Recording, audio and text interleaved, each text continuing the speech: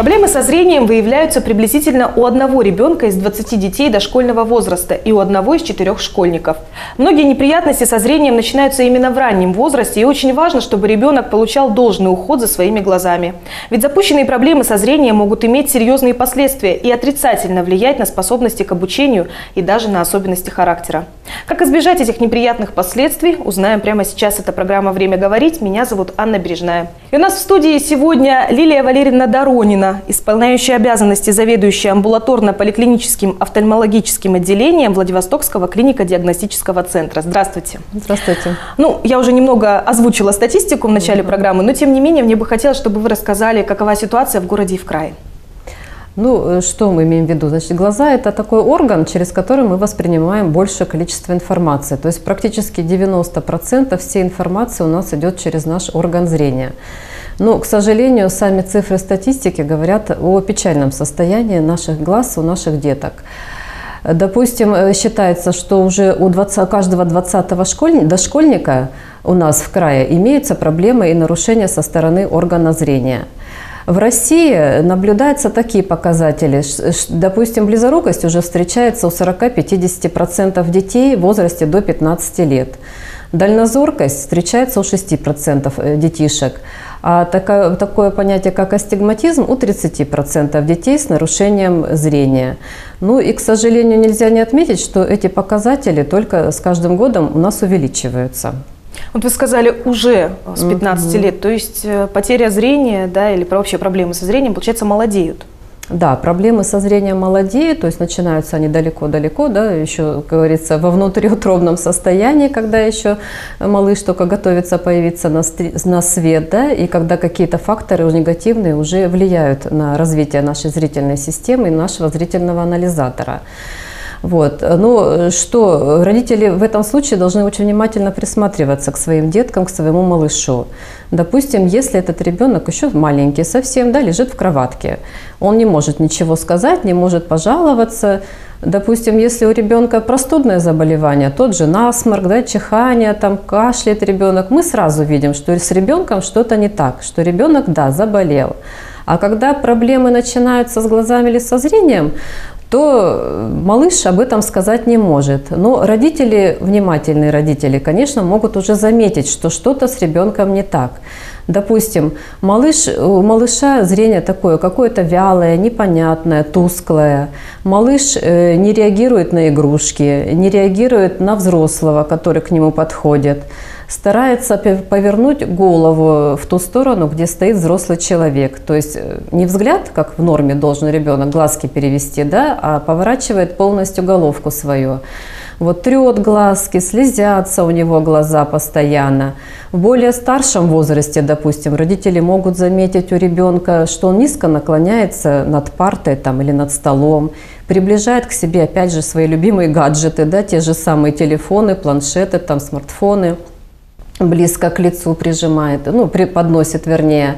Вот, опять же щурится, тянется за каким-то удаленным предметом, а дотянувшись, допустим, взяв его в руки, теряет к нему интерес. И вот такие ситуации, они, конечно же, заметны, и вовремя на них надо обращать внимание родителям. Хочется поговорить, конечно же, и о причинах. Вот, например, как у нас раньше угу. было принято. Да? Много читала в детстве, поэтому зрение плохое.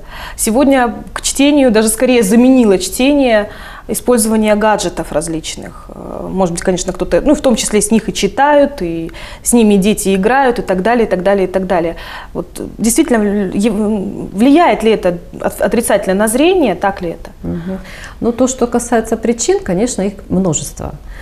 Во-первых, э, тут стоит винить наследственный фактор. Начнем с самой mm. такой главной и первой причины. Почему?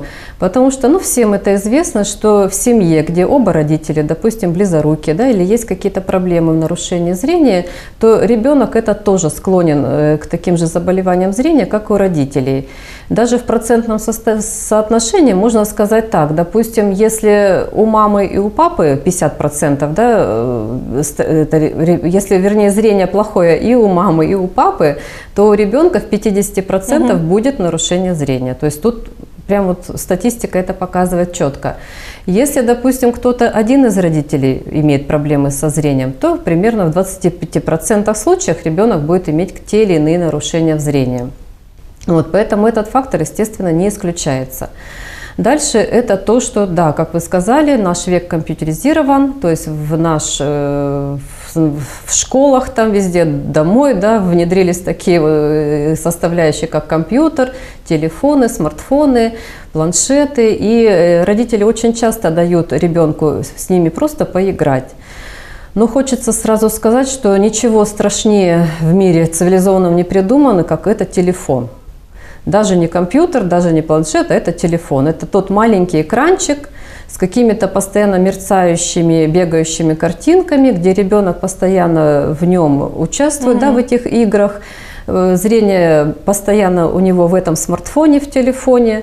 Вот, ребенок устает, психует, нервничает, и глаза, естественно, тоже у него устают. И причем мы же видим, что дети с этими телефонами не расстаются. То есть они с ними везде, и в школе, и дома, и в машине, пока там родители их везут до дома, там, или в автобусе, в транспорте. Поэтому это вот самый такой главный сейчас бич нашего зрения.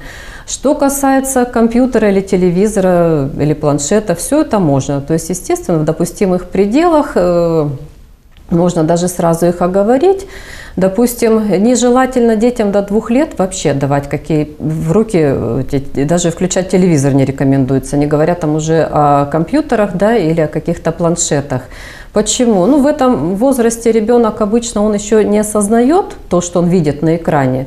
Даже порой не понимает те игры, которые им закачаны там в компьютер или в планшет. Поэтому лучше до двух лет ребеночка ограничить от этих э, гаджетов. Вот. А деткам уже более старшего возраста, допустим, с трех лет, конечно же, можно и мультики показывать, там и какие-то передачи с ним вместе смотреть, потому что понятно, что ребенок должен развиваться, ребенок должен владеть всеми этими информациями. Вот, и поэтому можно. Ну, дитю, ребенку, допустим, в три годика разрешается только полчаса в день заниматься на компьютере, ну или планшет, я имею в виду все вот эти современные наши гаджеты. Вот. В возрасте, допустим, э, с 4 уже до 7 лет, конечно же, можно больше ребеночку заниматься на компьютере в 45 минут, 50 минут. Ну, желательно делать небольшие перерывы. Допустим, 20 минут посмотрел мультфильм там или почитал какую-то книжку интересную, потом, естественно, минут 10 надо отдохнуть. Потом можно еще позаниматься. Ну, а более старшим детям, конечно, это уже по 15 годам там и старше, то полтора-два часа э, можно также заниматься и нужно да, читать, владеть всем, всей информацией. Ну, опять же, с условиями перерыва. Поэтому вот то, что касается современных наших да, гаджетов. Дальше. Немаловажная э, причина снижения зрения – это, конечно же, малоподвижный образ жизни. Дети, мы сейчас видим, перестали гулять на улице, да, чем-то заниматься. Ну, опять же, То с чем это связано с да, вышесказанным? сидят в компьютерах, угу. сидят в школе, потом приходят, делают уроки, информации много, а потом их еще ведут на какие-то дополнительные занятия, опять же, может быть, связанные с какими-то э, угу. нагрузками на зрение. Те же языки сейчас модно, да, детям изучать, ну и другие какие-то э, специальности. Вот. Поэтому малоподвижный образ жизни, вот это статическое постоянное положение ребенка, нарушение тут идет и кровообращение еще помимо того, что ухудшается зрение, конечно же, тут складывается несколько факторов, то есть нарушается питание и головного мозга, и шейного отдела, и глаза тоже, э, естественно, страдают. Вот. Э, нерациональное питание, тоже этому стоит уделять внимание. Это тоже как один из факторов э, развития близорукости там, или дальнозоркости или других каких-то проблем со зрением. Патология сетчатки сейчас, кстати, вот э, нарушение питания очень часто связывают э, с причинами появления заболеваний на, сеч, на сетчатой оболочке, так называемого угу. глаза, сетчатки глаза. А можно чуть подробнее ага. на этом вопросе остановиться? Вот э, какое питание отрицательно влияет и какие продукты лучше употреблять, кстати, для зрения? Угу. Вот, значит, ну, во-первых, оно должно быть сбалансированным и э, как можно э, разнообразным. То есть обязательно, конечно, должны быть мясные продукты. Это мясо, печень, курятина, крольчатина, то есть вот такие легко усвояемые можно ребенку продукты менять их постоянно в рационе. Овощи должны присутствовать э, обязательно. В сыром виде? В сыром виде. Да нет, ну, почему? Можно в любом, в принципе, угу. в вареном, но они должны быть разнообразные, полезные. Упор можно делать на зеленые овощи. Это вот салаты, шпинаты наши, да, то есть там много содержится различных микроэлементов угу. и витаминов, те, э, которые укрепляют именно сосудистую оболочку глаза. И улучшают ее кровообращение. Э, про молочные продукты нельзя забывать. То есть это творог и кефир, ну или различные какие-то, может быть, родители будут блюда готовить из этих продуктов. Ну, они должны обязательно присутствовать э, в рационе питания ребенка. Что касается каких-то дополнительных да, витаминных добавок, то да, все это можно. Опять же, и врачи да, советуют на приемах э, родителям принимать какие-то витаминные добавки, но они должны быть поливитамины. То есть надо учитывать, чтобы там обязательно содержались такие витамины, как А, В, витамины группы прям В, там и В1 были, и В6, угу. и В12 витаминки, кальций обязательно был. И такие микроэлементы, особенно которые важны для зрения, это цинк, селен и магний. Они также вот важны для зрения интересно, да, что питание тоже действительно влияет на зрение, как и на весь организм. Как-то никогда не задумываешься просто об этом, а вот ну да, да. неправильное может повлиять. Угу. А, ну, соответственно, нельзя все, что вредно, да, организму ну, человека. Да. Ну, конечно, это все жареное, опять же, острое туда же. То есть угу. не надо к этому ребенку приучать. То есть с возрастом он там сам примет уже приоритеты свои какие-то вкусовые. Ну, на более раннем возрасте все-таки надо поддерживаться здорового питания, э, чтобы было. Угу. Какие э, виды э, ну, проблем со зрением чаще все-таки встречаются у детей? Есть ли такой, может быть, какой-то, который отдельно преобладает да, над другими? Ну, часто, конечно, это близорукость. Она же миопия, да, по-научному миопия, в народе близорукость. Это когда ребенок вблизи видит хорошо все, а вдаль э, плохо видит. Вот это наиболее распространенное такое заболевание, и оно практически даже выходит на первое место по инвалидности, у, по, ну, по заболеваниям детского зрения. Именно близорукость у нас стоит на первом месте. Вот. Э, на втором месте это идет патология глазодвигательного аппарата. Это косоглазие, различные виды амблиопии. Амблиопия – это так называемый ленивый глаз. То есть э, мозг не, э, не составил ту картинку, да, которая нужна ребенку в дальнейшем, чтобы ребенок мог бинокулярно видеть, чтобы создавать какие-то образы правильные. Один глазик, допустим, там, или оба выключаются из этой деятельности. И эта патология называется амблиопия. И она часто сопутствует и косоглазию, да, когда мы видим, что один глазик у ребенка отходит в сторону, наружу, например, или наоборот вовнутрь. Вот. Ну и дальше это дальнозоркость, еще так называемая гиперметропия. То есть это вот заболевание то, которое стоит у нас на третьем месте. Ну, чаще это близорукость. Ну, что касается лечения, да, вот если да, уже хотелось бы спросить вот, о возможности да. излечения полного в да, детском да, возрасте да. и вообще о методах лечения современного. Да, ну немножко хочу еще сказать, может быть, о таком вопросе, когда именно нужно перевести ребенка к офтальмологу, да, что сначала врач должен все-таки ребенка посмотреть, поставить диагноз, потом уже мы начинаем лечение. Поэтому, конечно же, вот в возрасте трех месяцев ребенок должен обязательно показаться врачу-офтальмологу. То есть три месяца родители его приводят на прием. Что тут врач видит? Тут, конечно, исключается в первую очередь это врожденные заболевания. Врожденная катаракта, это может быть врожденная глаукома, опухоль сетчатки, вот ретинобластома, может быть, слышали такое вот, э, различные э, другие какие-то патологии, ретинопатия недоношенных, в частности, сейчас вот э, деток очень много рождается недоношенными, да, мы их выхаживаем, построен целый перинатальный центр, где эти детки у нас находятся, то есть это очень хорошо, но проблемы есть, поэтому э, надо таких деток тоже наблюдать и показывать. Атрофия зрительного нерва. То есть вот в три месяца мы можем выявить вот такие грубые нарушения. Широкий спектр достаточно уже. Да, да. по крайней мере, врожденные такие проблемы, с которыми дальше будем бороться. Следующий возраст, когда нужно ребенка показать э, детскому специалисту, ну, в частности детскому врачу-офтальмологу, это 6 месяцев. 6 месяцев, потом 1 годик. Здесь уже врач может оценить, что у ребенка близорукость врожденная там или дальнозоркость есть. Если какие-то другие виды нарушения, тоже там косоглазие там, или амблиопия, вот как я сказала, да, ленивый глаз. И даже уже с этого возраста, с возраста одного года, врач может ребенку назначить лечение. Это очки. То есть этого не стоит пугаться, это обязательная процедура, чтобы для того, чтобы сохранить и вылечить ребенка. Э, впоследствии, и, впоследствии зрения Да, и чтобы зрение сохранить, даже можно его восстановить до 100%. Ну, при правильном, конечно, отношении родителей, и врачей к этой проблеме. Лилия Валерьевна, давайте сейчас прервемся на небольшую паузу. Мы продолжим наш разговор после короткой рекламы. Оставайтесь с нами.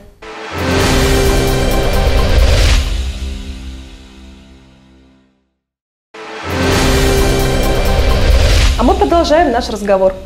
Лилия Валерьевна, мы остановились на том, что необходимо в случае каких-то нарушений, даже первых, пусть э, детских, э, носить очки. И впоследствии это поможет ребенку сохранить зрение, а может быть даже и вылечить да, какие-то имеющиеся проблемы. Давайте продолжим эту тему. Я знаю, что есть еще что сказать по этому вопросу. Да, конечно же. Да, врач вам прописал очки. Значит, во-первых, не стоит этого пугаться. Нужно это прислушиваться к рекомендациям вашего врача-офтальмолога. Вот. И, что еще хочется подметить, такое, что все-таки не просто очки, а правильно выписанные очки именно на приеме детским врачом-офтальмологом, только те очки вам, как говорится, вылечат вам и помогут. Потому что сейчас ну, существует, не буду там грешить и говорить, но много всяких да, оптик там и, и других каких-то частных кабинетов, где на, готовы выписать эти очки. Ну, должен все-таки это сделать на приеме врач-офтальмолог, тщательно посмотрев ребенка. Допустим, считается, что у близоруких да, детей, те, которые пользуются очками и вдаль, и вблизи, то есть как положено, то риск прогрессирования близорукости останавливается, и ребенок в дальнейшем э, видит либо на том уровне, с которым он пришел, либо немножко может зрение даже и улучшиться. А по статистике замечено, те дети, которые пользуются, допустим, очками только для дали или только для близи, допустим, выборочно, да, то риск развития близорукости увеличивается в 1,7 раза. А те дети, которые игнорируют вообще ношение очков, риск развития близорукости возрастает до 2,6 раза. И мы видим такую тенденцию, что почему еще близорукость у нас прогрессирует. Да? Допустим, в 15 лет, а у ребенка уже высокая степень близорукости, минус 6 там и выше. Это из-за того, что неправильное ношение очков, не вовремя консультация, лечение у специалистов и где-то вот погрешности да, в ношении этих очков. Вот, допустим, у дальнозорких э, тоже детям дально... дети у нас вообще все рождаются с дальнозоркостью, да, и они не нуждаются, правда, в коррекции, то есть в коррекции нуждаются уже детки, которые действительно имеют патологическую дальнозоркость, и э, зрение у них больше, плюс, допустим, 2,5 диоптриев. Тогда врач выпишет вам очки и, назва... и назначит вам еще какое-то консервативное лечение. Лечение это обычно проходит в кабинетах охраны зрения детей. Вот в нашем учреждении да, есть такой кабинет охраны зрения детей, где работают уже с большим опытом врачи-офтальмологи. И детки э, занимаются на специальных приборах. Это и синаптофор, и макулотестер, там различные компьютерные программы. Страшные вот, названия. Да, тот же компьютер у нас тоже да, присутствует, да, кажется, вот у офтальмологов, но у нас есть компьютер, и там есть специальные детские программы, где ребенок садится и именно занимается на этом компьютере. Все это также способствует вот восстановлению зрения. А можно э, спросить также, сегодня очень распространены контактные линзы. Угу. Слышала такое мнение, не знаю, объективно оно или нет, что если человек постоянно длительное время их носит, то его зрение ухудшается. И, может быть, некоторые родители детям вместо очков хотят купить линзы. Вообще, можно ли это делать и так ли это, правдиво ли это мнение? Нет, можно, конечно. Линзы можно носить. То есть здесь зависит от уровня подготовки и родителя, и ребенка да, к ношению контактной коррекции. То есть можно, в принципе, вообще с любого возраста носить контактные линзы. То есть если мамочка будет хорошо ухаживать за ними, да, и ребенок будет спокойно к этому относиться, можно. Существуют же также еще и специальные лечебные линзы, допустим, ортокератологические, может быть, многие слышали, это такие ночные линзочки. Линза на ночь одевается, а днем ребенок, э, ну, утром снимает, и днем ходит без очков. Ну, это специальные линзы, которые тоже подбирает врач и рекомендует врач эти линзы. Вот. Э, потом э, линзы с чем удобны? Во-первых, э, ребенок активный образ жизни может в них вести, заниматься спортом, да? Девочка, допустим, не может не стесняться. Да, не все том, просто что, любят очки, да, дети. В очках, да, девочки угу. могут не стесняться, спокойно обращаться там в коллективе своем, не нося очков. Поэтому все это можно в любом возрасте, это можно. И опять же тоже есть лечебные линзы, допустим, чтобы не носить наклеечки, да, которые мы видим часто у детки ходят нас в очках с наклеечками. Да, это, что это такое? Это вот э, тот случай, который я уже до этого говорила, амблиопия, ленивый глаз, один глаз ленивый, другой у нас хороший, и мы наоборот хороший глазик закрываем специальным оклюдером, такая вот повязочка на глаз делается, да, а ленивый глаз заставляем работать. Угу. Вот для этой цели применяются вот такие специальные очки. Ну, можно есть, и контактную линзу. То есть да. зрение выправляется, да? Зрение выправляется, угу. да. То есть, ну, здесь надо терпение родителей, здесь, конечно, наблюдение наблюдение обязательно надо. И постоянное ношение, постоянные занятия. То есть это специальный комплекс вот таких мероприятий. Поэтому все возможно.